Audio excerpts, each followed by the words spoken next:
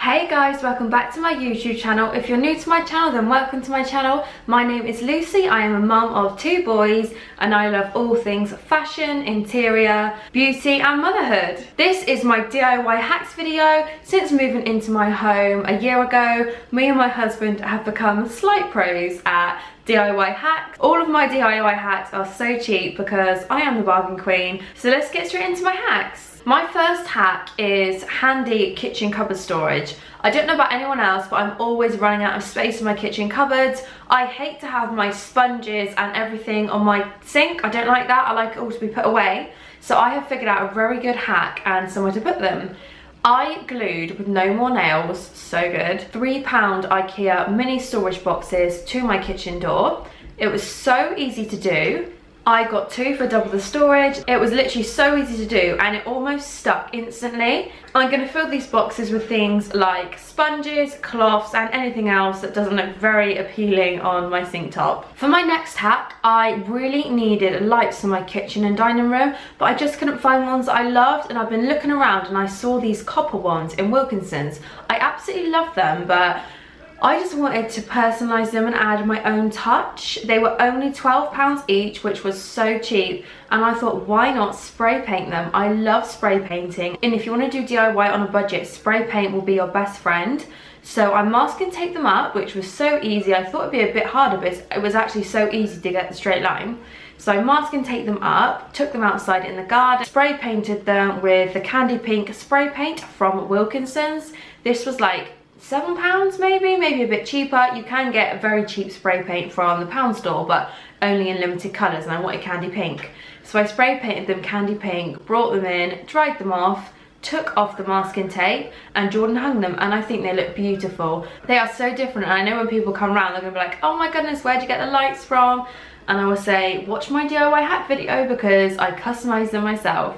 Other things I have spray painted were my kitchen dining room chairs. Jordan actually did that one, so I cannot take the credit.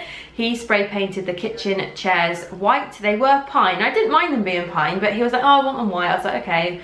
I'll let you get on with it. I also spray painted two mirrors in my house. My white one, which used to be cream, so I spray painted that white to go in the dining room and I also spray painted the mirror in my lounge black. It was, what colour was it before? It was like a bronzy before, so yeah, I just spray painted it black and it looks great. My next DIY hack is marble contact paper.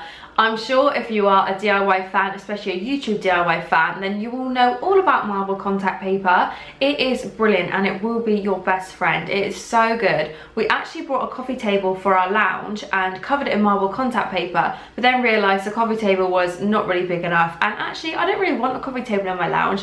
I love to have the space in there for the kids to play, so we kind of backtracked on that and took the coffee table away. But I've used marble contact paper for storage boxes. I think it looks so nice around the house so elegant and somewhere to put all of your clutter so I've marble contacted paper quite a few storage boxes around my house I also used it to cover this circular box which I'm going to use in my next hack marble contact paper I always get the same marble contact paper and I will link it below. It's one from eBay and it's so reasonably priced. I have got them from other places before but it's been more of a yellowy and I did not like the yellow look so I get the same one every time so make sure you get the marble contact paper that you want. My next hack is using the circular marble box that I just made in the marble contact paper section. For this you're going to make your DIY flower box. I've loved these flower boxes since seeing them all over Instagram but to me they are quite pricey. They're like a hundred pounds and I'm not going to pay a hundred pounds for that maybe, I don't know, maybe one day, but at the minute I just thought, no, I can make that myself. Get yourself a box, any kind of box. You don't even have to marble contact paper it, you could spray paint it.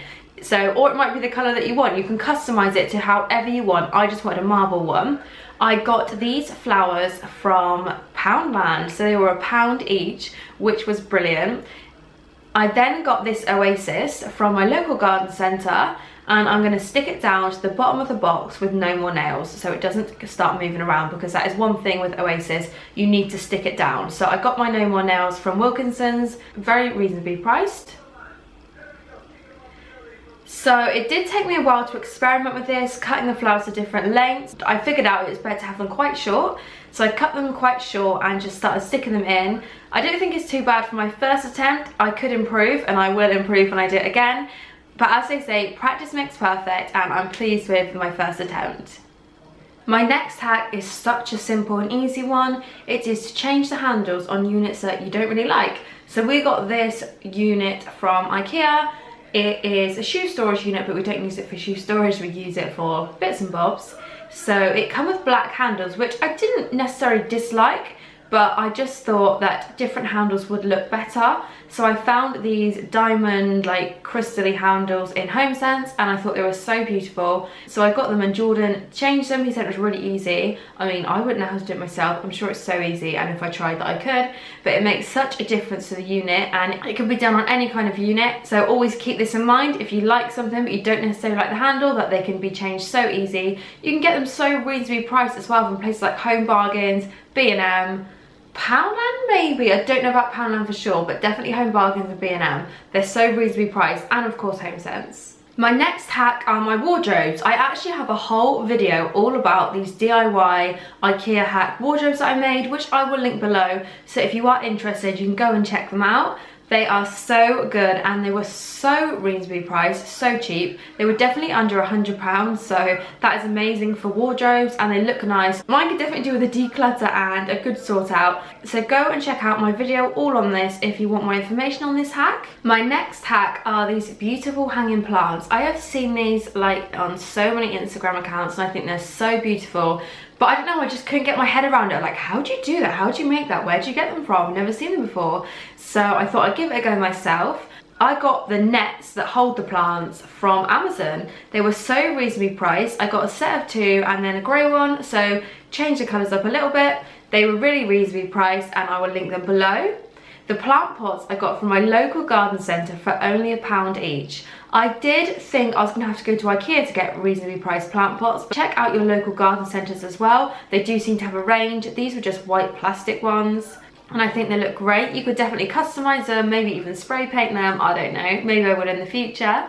To go inside the plant pots, I just got these artificial plants from Ikea. Now, I do want to go back to Ikea and get some different ones and get some hanging ivy because these are just ones I already had lying around my house. They weren't ones especially for this. So this actually isn't the finished look. I'm going to get some hanging ivy to go on them. I think that'll look gorgeous next time I'm in Ikea. So that is something I need to do. Hopefully I'll get there soon. But hanging ivy will look beautiful in these plant pots and I think it will give such a nice feel to my dining room. I already have a lot of greenery in my dining room and I love it. It's kind of like glam slash greenery. So this is a great hack and will add life to any room. I love this hack. You hang them on the ceiling with hooks. Jordan was in charge of that and he said it was very easy to do. He got the hooks just from our local DIY store. Our final DIY hack actually comes from someone that commented on one of my YouTube videos, another reason why I love YouTube. We wanted to separate our lounge and our playroom. We've got like an open plan living area, but we have a very different kind of style that we want to do in our playroom. I want to make it really child friendly, fun and colourful for the kids, but then that would mean it would have to come into the lounge because we couldn't separate it off, which was not really what I wanted. So someone said, why don't you just put curtains there so you can have them open in the day, the kids can play in free flow, and then in the evening you can shut them up, which was such a brilliant idea. So this is what we've done. We've got the Kylie Minogue curtains, which I will link below. You can get them on eBay. We got them from HomeSense, but as you guys know, HomeSense don't do online, and I'm not even sure they do them anymore. So eBay is a great place to get them. You are protected on eBay with the eBay money back guarantee. So I love buying on eBay and I think it looks so nice, so nice to separate off the room and have our own lounge but then in the day as I said I can open them up and it still lets all the light through. My next hack is to transform your understairs. You can transform your understairs into anything and there are loads of ideas out there but we decided to transform our understairs into a desk. It is so handy for me now I work full time it is brilliant and I absolutely love it. Jordan did it and he said it was really easy. He just used MDF, I painted it white and he put it all together. He is definitely not brilliant at DIY, so it is a very simple DIY job. His brother, Uncle Bubba, who is good at DIY, just told him a few tips of how to do it right and he managed to do it. So I'm so pleased with this and it's my little work area. And that is the end of my video guys. Thank you so much for watching. If you like this video, please give me a big thumbs up. Don't forget to subscribe and I'll see you in my next video.